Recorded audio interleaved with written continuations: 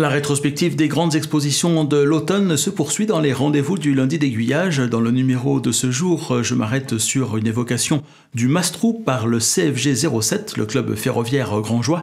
C'est un réseau que j'ai filmé à Val d'Aon lors de l'exposition Odo Miniature, mais que l'on pouvait retrouver 15 jours plus tard à Savoie Modélisme.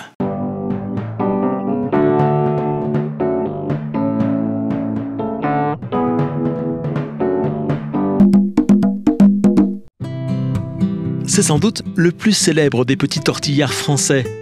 Il part aujourd'hui encore promener les touristes dans cette belle montagne, chère à Jean Ferrat. Mais avant d'être un train touristique, il reliait inlassablement Tournon à la Mastre, avec pour mission le désenclavement des villages les plus reculés de l'Ardèche, et au-delà, ceux de la Haute-Loire. Les habitants de la région lui ont donné le surnom affectueux de Mastrou, et les membres du club ferroviaire Grandjoie dont le siège est situé un peu plus au sud, à Guilleran-Grange, lui ont consacré une maquette.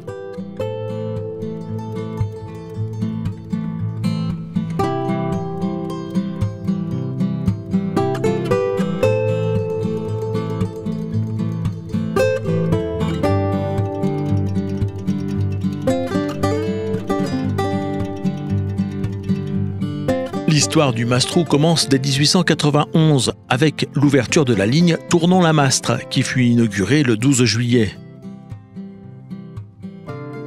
L'une des particularités de celle-ci est qu'elle était commune avec celle du PLM sur quelques centaines de mètres au départ de Tournon. Une voie à double écartement métrique et normal permettait la circulation des grands trains et de ceux de la compagnie des chemins de fer départementaux au départ d'une gare adjacente à celle du Paris-Lyon-Marseille. Un dispositif qui a subsisté jusqu'en 2008, alors que le Mastrou était devenu entre-temps un train touristique. Le premier en France à être sauvé au moins pour partie de la casse après la fermeture du réseau du Vivarais en 1968.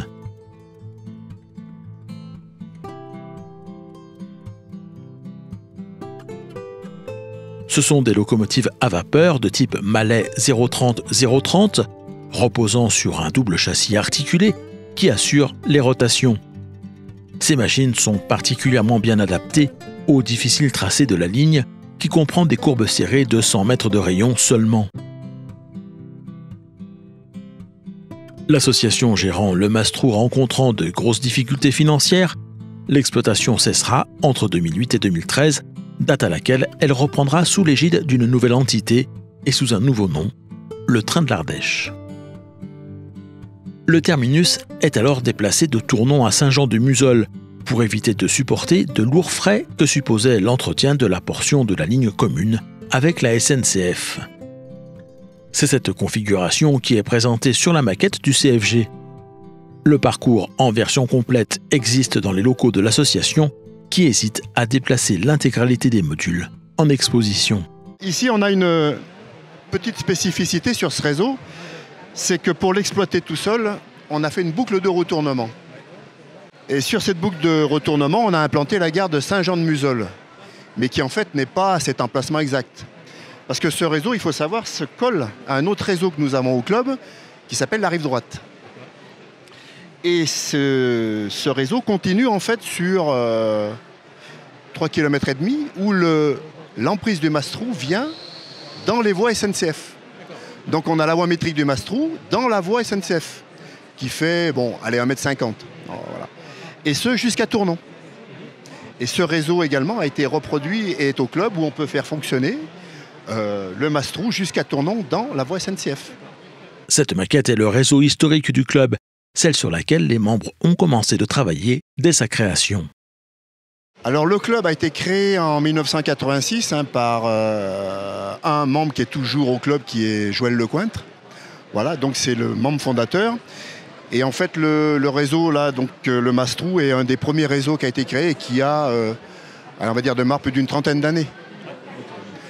Qui a été remis au goût du jour électriquement, mais il a quand même 30 ans. Donc c'est du HO métrique. Parce que la voie originale, c'est un mètre. Alors, euh, en rafraîchissement, ce qu'on a fait, c'est qu'on a, on a refait complètement tout ce qui est électrique. On a changé les platines de régulation de vitesse, on a refait un tableau de commande un peu mieux adapté. Euh, on a mis l'éclairage dans, les bâtiments. Euh, on a repris un peu tout ce qui était électrique dessous parce qu'il avait besoin de... Et il fonctionne très bien. Alors ce qu'on voulait faire également, c'était ici en, bout de, ce module, c'était de faire soit une plaque tournante pour pouvoir tourner les convois sans prendre les locomotives et tourner les wagons, ce qui est un peu, euh, lourd, on va dire. Donc ça serait le, projet de faire une plaque tournante pour pouvoir tourner les, les convois en entier.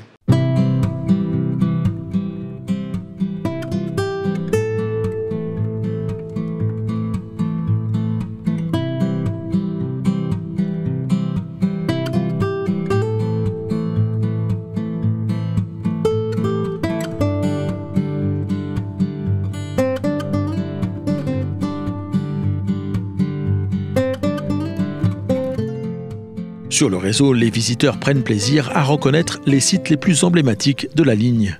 Le dépôt à la gare de la Masse, donc le départ de la ligne du Mastro,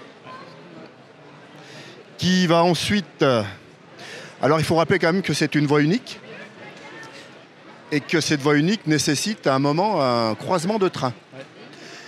Et les croisements de train se font à la gare de, de Boussieu-le-Roi, qu'on va aller voir. Donc la gare de Boussieu-le-Roi où le, où le croisement est effectif des deux trains. Donc, d'une part, le train qui vient de la Mastre et l'autre qui vient de Saint-Jean-de-Musol. Ensuite, on a ce qu'on appelle le canal des Allemands.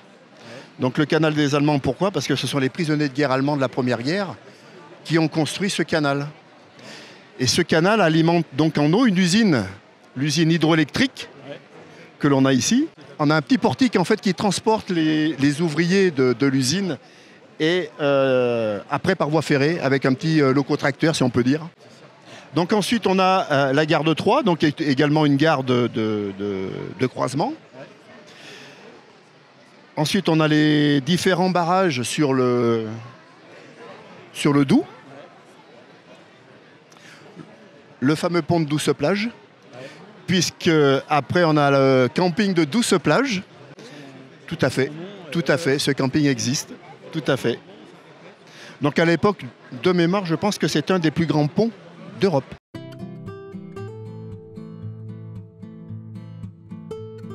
Un pont dont la construction a commencé à la fin du Moyen Âge, mais qui ne sera achevé qu'au XVIe siècle, en raison des difficultés rencontrées, celles-ci étant à la fois d'ordre technique et financière. C'est le plein cintre de ce pont dépassant les 49 mètres qui en fait aujourd'hui encore un ouvrage remarquable que le voyage en train donne tout loisir de contempler. Il enjambe le Doubs, avec un X, la vallée que remonte le Mastrou. À ne pas confondre avec le Doubs D-O-U-B-S, qui se trouve en Franche-Comté, tout comme la commune de Val-d'Aon, où le réseau était exposé lors du week-end réservé à l'exposition Au Doubs Miniature. On le retrouvait 15 jours plus tard à Chambéry pour Savoie Modélisme. Un petit mot de l'actualité de ces expositions et de celle du CFG. La prochaine édition de Odou Miniature se tiendra les 24 et 25 octobre 2020. Savoie Modélisme ce sera en 2021, les 30 et 31 octobre, sur une surface encore plus grande qu'en 2019 puisque l'on dépassera les 10 000 mètres carrés.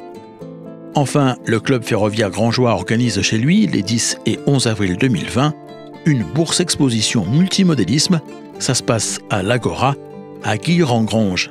J'en profite pour vous rappeler que vous pouvez retrouver toutes ces dates et beaucoup d'autres encore sur le site d'Aiguillage, www.aiguillage avec un s.eu, en vous rendant à la rubrique Agenda.